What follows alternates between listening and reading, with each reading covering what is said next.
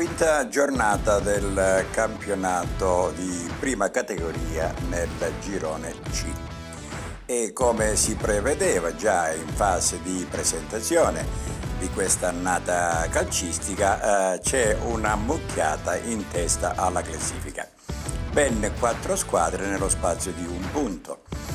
con uh, la sosta di ogni domenica di ogni squadra. Certamente la classifica non è ben delineata, però già possiamo uh, vedere che in testa alla classifica ci sono Città di Soverato e Promo Sport Lamezzi a 10 punti, seguite da Pino Donato Taverna e Real Montepaone a 9 punti. Seguono poi ben 5 squadre a quota 7 e a dimostrazione che questo è un campionato molto equilibrato eh, che eh, si lotterà fino alla fine per sia la posizione eh, di vittoria del campionato che di quelle eh, successive per quanto riguarda i playoff, ma anche in coda non è tanto facile perché già eh, quattro sono le squadre che sono, si sono un pochettino allontanate con 4 punti Laureana, 2 punti Santonofrio Rosarnese, 1 punto Polisportiva Palmini. Ma veniamo alla giornata di oggi, eh, riposava la squadra di Taverna e quindi le altre squadre sono, hanno dovuto attendere il risultato, in particolare quello di Soverato, dove si incontravano appunto Città di Soverato e Real Montepone in, in un derby dagli antichi ricordi che oggi si disputa in eh, prima categoria. Eh, finita 0-0, il Soverato probabilmente eh,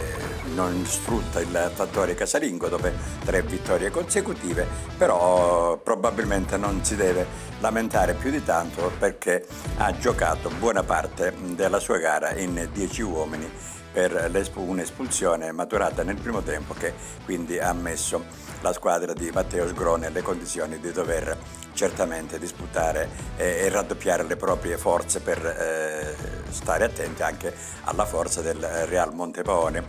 di Pisano che eh, certamente non stava qui a guardare. Comunque uno 0-0 che accontenta tutti, non sposta di tanto la classifica e quindi ne approfitta la Promo Sport di Lamezia che eh, vincendo il proprio incontro casalingo di sabato contro il Bivongi Pazzano arriva a 10 punti anche in virtù dei tre punti assegnatagli dal giudice sportivo per la trasferta di domenica scorsa a Fabrizia con il risultato a tavolino per 3-0. Per quanto riguarda il resto della giornata si riprende il Pizzo che aggiunge, arriva alla seconda vittoria consecutiva dopo un inizio abbastanza disastrato, adesso con i suoi bomber Fanelle e Ghiete eh, regola tranquillamente il Santonofre per 2-0 e quindi si porta adesso a 7 punti tra le squadre con quelle squadre che seguono in classifica le prime della classe. Se va bene anche la Sersalese 4-0 alla Laureana, eh, smentendo quelle che erano le voci dell'inizio del campionato che dicevano che la Sersalese probabilmente non riusciva a portare avanti un campionato, ma poi basta una domenica, basta poter vincere una partita e quindi si gioca con tutta serenità e quindi anche la Sersalese a sette punti guarda bene la zona alta della classifica. E,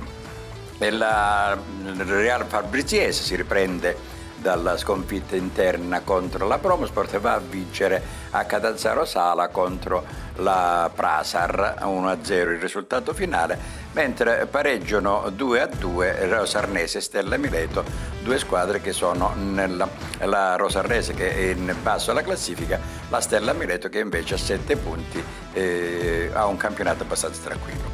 Per ultima vediamo la gara tra la Polisportiva Palermiti e il Piscopio con la vittoria dei Vibonesi per 3 a 2 nei confronti di una polisportiva Palermiti che probabilmente sperava di ottenere la prima vittoria, la prima storica vittoria in un campionato di prima categoria, ma così non è stato. Dopo un primo tempo abbastanza tranquillo e sereno, finito sullo 0-0, era poi il Piscopio a portarsi in vantaggio con un calcio di rigore, pareggia il Palermiti con un colpo di testa di Barberi su calcio d'angolo, ma poi alcune disattenzioni difensive da parte della squadra del presidente Truglia consentono all'Episcopio di portarsi sul 3-1 e quindi poter giocare in serenità il resto della partita. Ma poi ci pensa De Feo per un definitivo 3 a 2, ma poi non c'è più il tempo e la squadra di Maurizio D'Amico deve soccombere ancora una volta la seconda sconfitta consecutiva in casa, anche se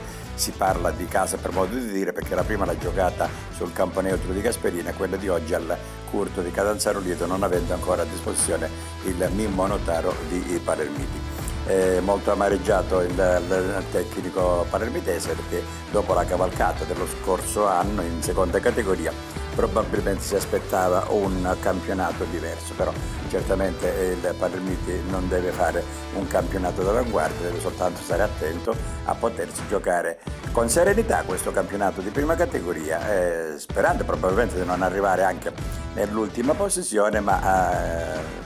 gioendo di quello che fino adesso hanno ottenuto nel paese delle preserve catanzaresi che certamente eh, per la prima volta si affacciano proprio a un campionato di tale importanza.